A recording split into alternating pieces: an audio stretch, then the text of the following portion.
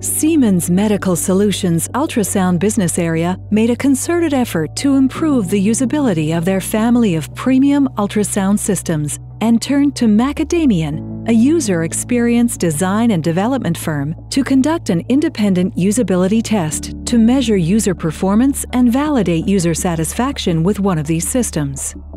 During the usability test, our user experience researchers captured metrics such as task success rates, number of deviations, number of errors, and ease of use ratings, as well as qualitative feedback from test participants.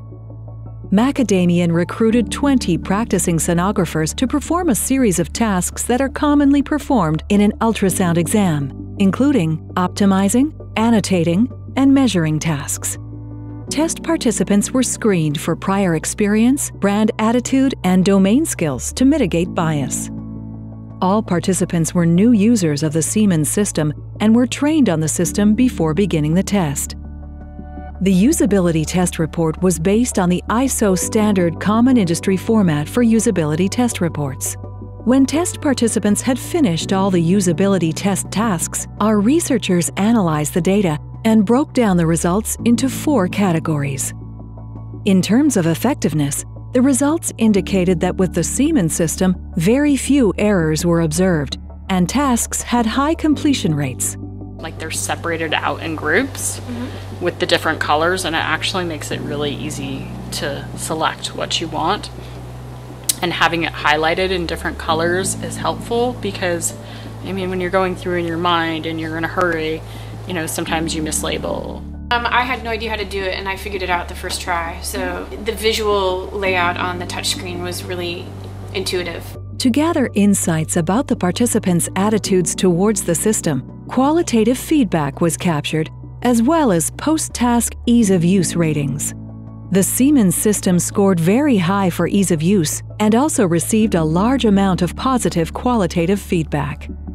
Uh, the touch, I've never really liked a touchscreen, but I really like this one. It's intuitive. I like the selection that they have here. It's helpful for explaining things to radiologists, I guess, or getting them to understand uh, your point of view. Uh, like I said, on my current machine, I use the keyboard a lot, and I didn't even miss it with this. Regarding efficiency, few deviations were observed.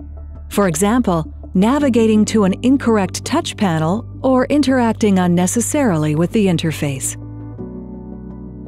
The knobology is simple and straightforward, so it's easy to find the buttons I'm looking for, and they do what I expect them to do. And there isn't like a range of menus to have to go through to get to the function that you want. At the end of each usability test, the sonographers completed the industry standard System Usability Scale questionnaire to measure perceived system usability and learnability. The Siemens system scored very high with an overall score of 83 out of 100.